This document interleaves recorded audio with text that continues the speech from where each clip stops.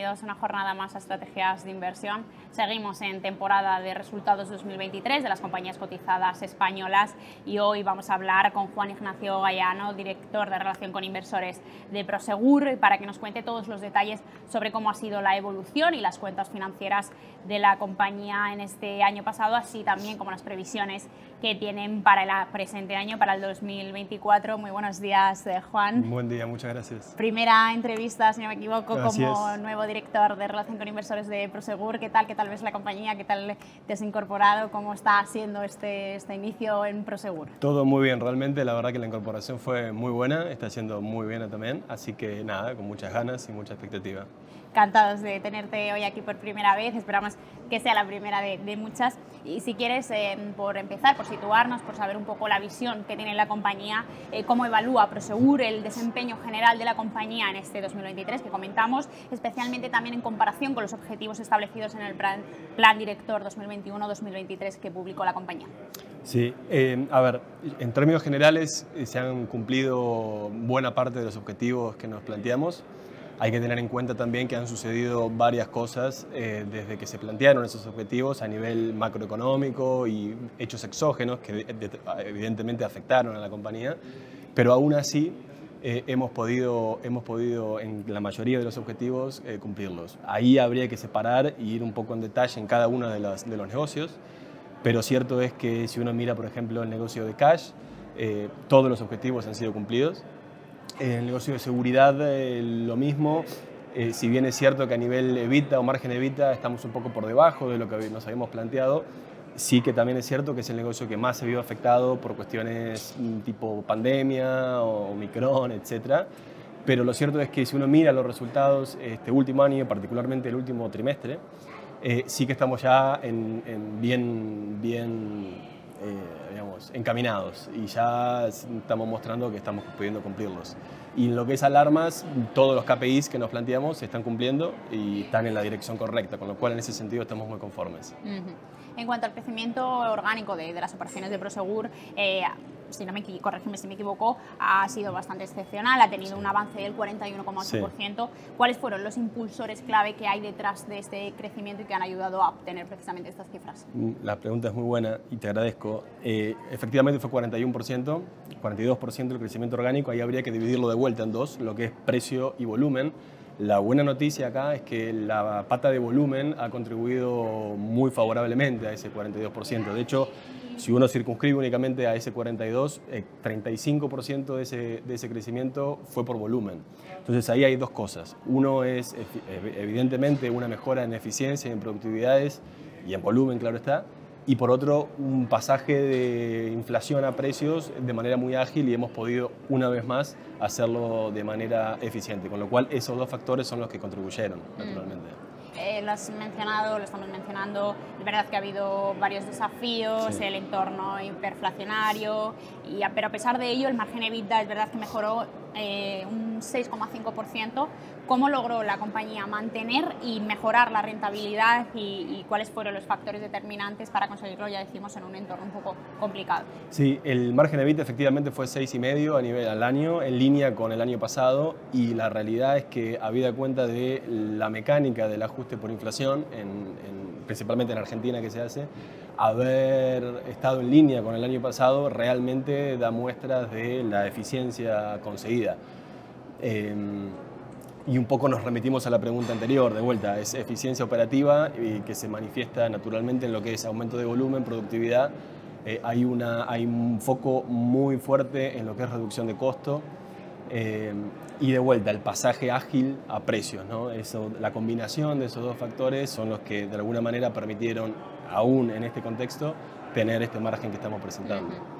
Una partida importante dentro de los resultados también es el tema de la deuda, cómo eh, Prosegur planea gestionar su nivel de endeudamiento considerando el ratio deuda financiera neta sobre EBITDA en 2,6 veces. Sí, ahí hay un tema que volvemos a la contabilidad hiperinflacionaria. Eh, todo estado, todo estado resultado, producto de esta mecánica de ajuste por inflación, de alguna manera no reflejan la realidad económica de la compañía y eso es muy importante. Y entonces todo ratio que se construye a partir de alguna métrica financiera, económica, eh, está un poco distorsionado.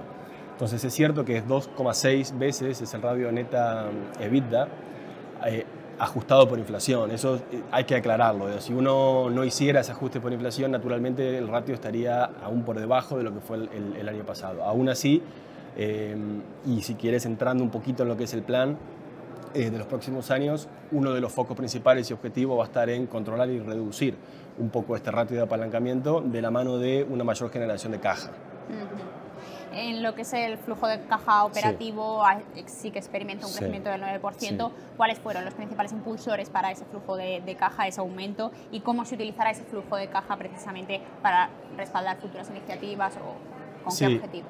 Eh, volvemos a la eficiencia operativa, ese creo que es el, denominador común de todos los resultados. Eh, hemos mostrado una, una, eficiencia en todos los negocios y en todas las geografías, y eso es muy importante. Eh, y efectivamente el flujo de caja operativa ha aumentado.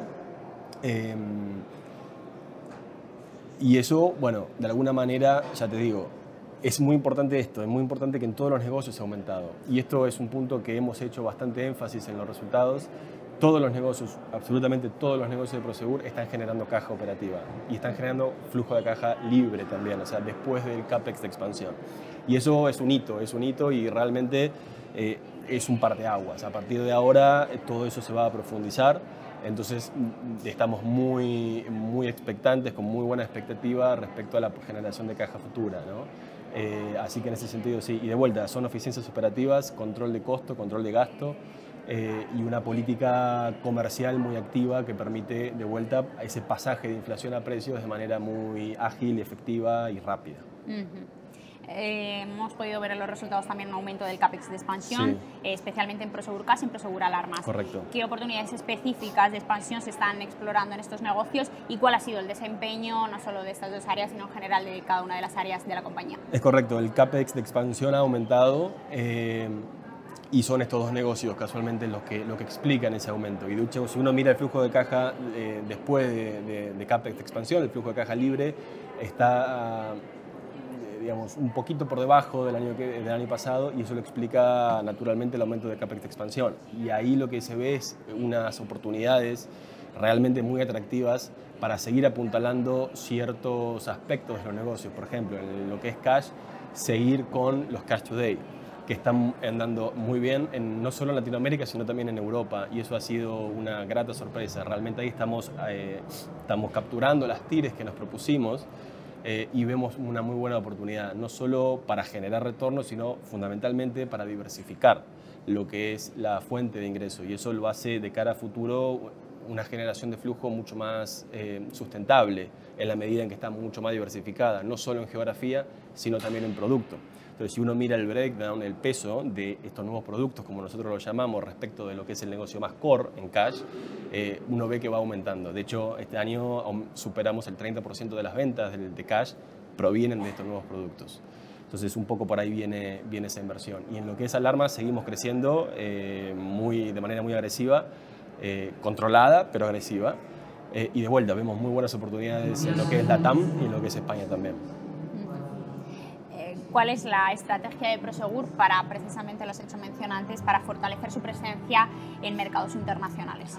Bueno, ahí de vuelta es seguir apuntalando los negocios core, eh, continuar con esa presencia eh, geográfica y esa, ese buen posicionamiento que tenemos en prácticamente todos los países y las geografías en donde estamos operando. Entonces eso es seguir apuntalándolo y luego ir creciendo de la mano fundamentalmente de nuevos productos. ¿no? Entonces ahí vamos creciendo, vamos apuntalando y vamos diversificando geográficamente y a nivel producto. Entonces el plan que viene ahora está muy enfocado en eso, en expandirse geográficamente, en apuntalar esos crecimientos de la mano de estos productos. Por eh, cerrar la entrevista, podríamos estar hablando horas de, esa evolución que ha tenido Prosegur. Hemos repasado lo que ha sido el 2023, pero no podemos perder la vista en este nuevo año eh, con la finalización de este plan director que mencionábamos al principio, porque llegaba del 2021 al 2023, y la preparación del nuevo plan estratégico hasta 2026. Creo que tenéis previsto cuáles son las metas y las prioridades claves de, de Prosegur para seguir impulsando su negocio, para seguir creciendo, para seguir mejorando todas estas cifras que hemos repasado. Correcto. El plan que viene, efectivamente, lo planteamos como un 2 más 2 más 4. Eh, y básicamente los núcleos rectores ¿no? que van a, de alguna manera a, a, liderar este plan van a ser básicamente rentabilidad, seguir mejorando rentabilidad, eficiencia y un foco muy, muy específico en caja, en generación de caja. De vuelta, la caja este año ha sido uno de los principales, digamos, hechos positivos. Eh, de, todos, los, todos los negocios generándola, así que el foco está ahí, está puesto en caja, en crecimiento orgánico, eh, y eso de un poco, bueno, reduciendo deuda neta, ¿no? como bien decíamos, para controlar eso, si bien eh, algo que quería decir también, la estructura de la deuda es realmente muy positiva, tanto en, en madurez como en costo, ¿no? entonces en ese sentido estamos también muy cómodos, pero bueno, seguir en ese camino de generación de caja, de mejora de eficiencia, de control, de deuda neta.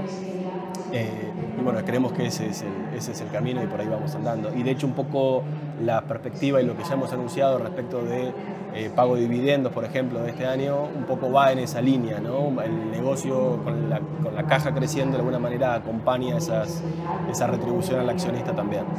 Que sin duda será acogido en el mercado eh, con mucha alegría, ¿no?